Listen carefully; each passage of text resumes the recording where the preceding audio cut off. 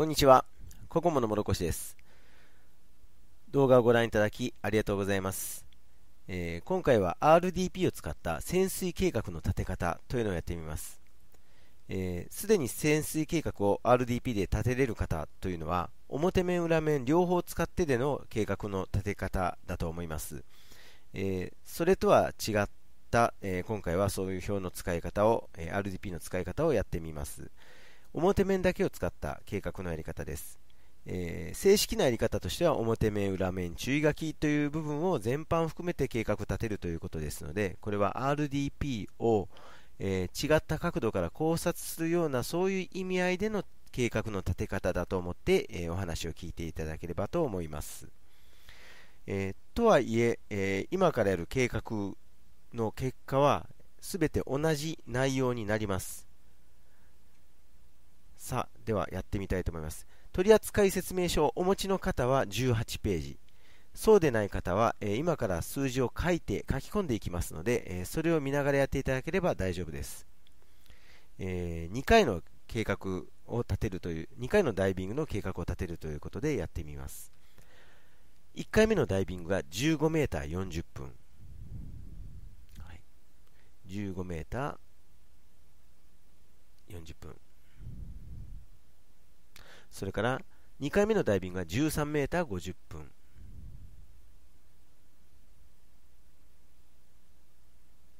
はい、それから1時間の水面休息時間を設けるという、そういった計画でやってみます。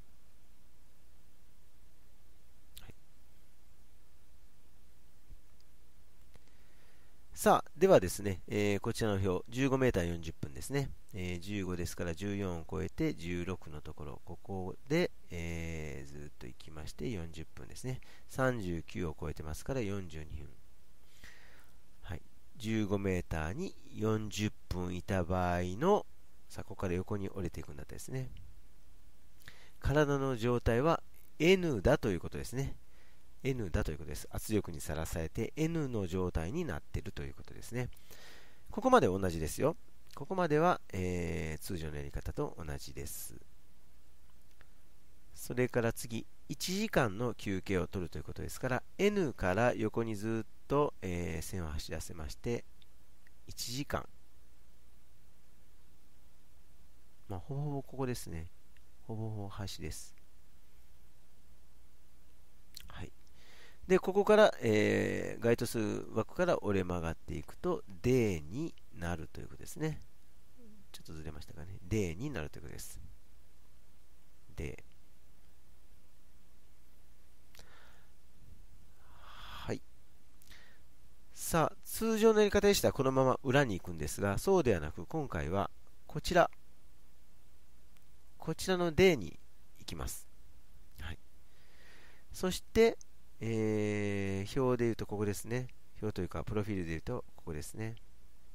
D で13メーターに潜るということですね。D で13メーターに潜る。D で13メーター、つまりは14ですね。ここに潜るということです。どれぐらい潜るかというと、50分潜るということですね。50分潜るということですから、今、D で13メーター、まあ14になりますけどね、枠としては。22という数字。ここにさらに50分潜ると考えていただければいいです。つまり、えー、22に50ですから、72、73ですかね、枠で言いますと。73。はい。えー、横に行きまして、t になるということですね。はい、これが答えになります。どちらもこのグレーのゾーンには、まあ、入ってはいないので、えー、必ず安全停止をしてくださいというものではないですが、えー、表にあるようにできるだけ全てのダイビングでした方がいいということでこう3分3分はなるべくした方がいいというのも、えー、変わりません。今回裏面を使わなかったですけれども表面だけでですね、えー、全く同じ結果が出るということで、えー、問題を1つ解いてみました。もう1つやってみようと思います。練習がてらね、えー、はい。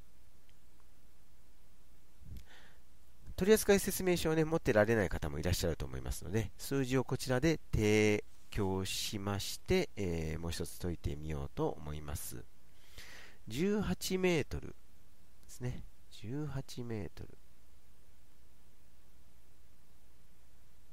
ちょっと字が書きづらいですね。18メートル30分ですね。それから30分の休憩。ちょっと短いですね。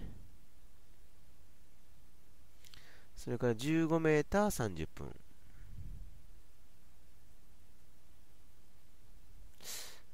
ちょっとバグってるんですかね。15メーター、うん、すいません。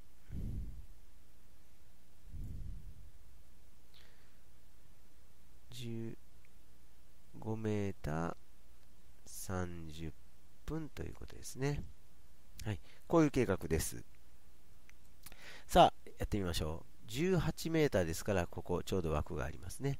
から30分に行くと、こちらです。はい。えー、折れ曲がって矢印の方向に行くと、記号は K になるということですね。ここが K だということですね。さあ、そこから休憩が30分ですから、えー、引き続きずっと線を伸ばしていきまして、30分が当てはまるところはこちらです。はい。下まで行きますと、F ということになりますね。休憩が終了したところで F ということです。さあ、あ、またなんか飛びましたね。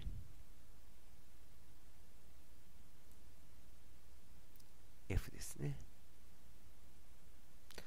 はい。それからですね、えー、F で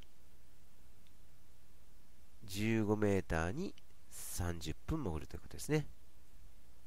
はい、F で15メーターにここから30分ということですね。23足す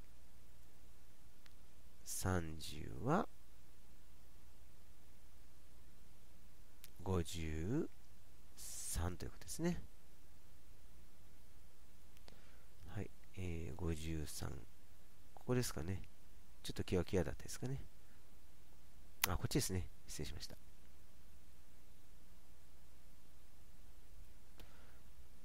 53、ここですね。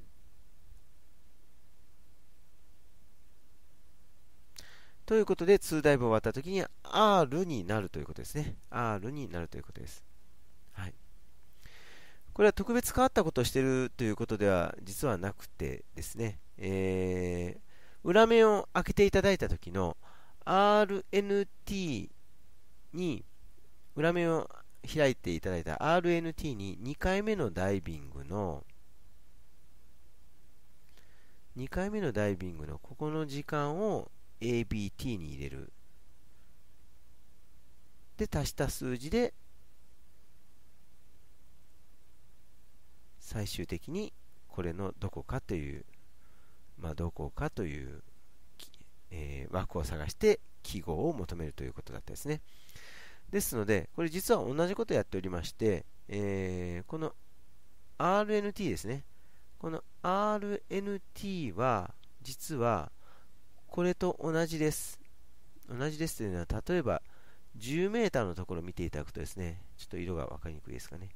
10メーターのところを見ていくとですね、えー、10、20、26、30ですか ?ABCD という国に従って、10、20、26、30です。6ですね。30ですね。よく覚えておいてくださいね。10、20、26、30。10メーターで10、20、26、30ですね。はい、これが裏面の、え10メーターのこれがラインです。RNT ですね。RNT。A のところ、ABCD って見ていきますと、10、20、26、30ですね。10、20、26、30。全く同じなんですね。えー、RNT である10、20、26、30の ABC それぞれの数字にえー、実際の潜水時間を ABT を足すわけですからはいまた表面に戻りましたけども、えー、10、20、26、30に、まあ、それぞれ B だったら20ですよ。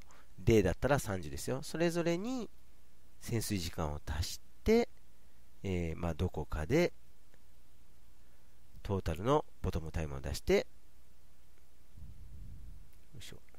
トータルのボトムタイムを出して、えー、記号を出すということになるわけですから結局全く同じことをやってるということですねはい、えー、今日は潜水計画の立て方ということですね。RDP での、えー、潜水計画です。通常表面裏面を使って、えー、2回のダイビング繰り返しのダイビングの計画を立てるんだったんですけれども今回は表面だけを使って計画を立ててみましょうということで実際にやってみました。はい。えー、RDP を使いこなすという意味合いで、えー、こういう弾き方もたまにやってみるのもいいと思いますので、えー、なるほどって思われた方はぜひ、あのまた他の例題が RDP の取扱説明書にありますのでね、え答えがあるやつでぜひやってみてください。はい、えー、今回もココモの動画をご覧いただきありがとうございました。また何か、えー、こういったものでこういうのはないのかというリクエストなどありましたら、え、動画で紹介していきたいと思いますので、え下のリンクなどを使って、えメッセージなどいただけたらとても嬉しいです。本日はどうもありがとうございました。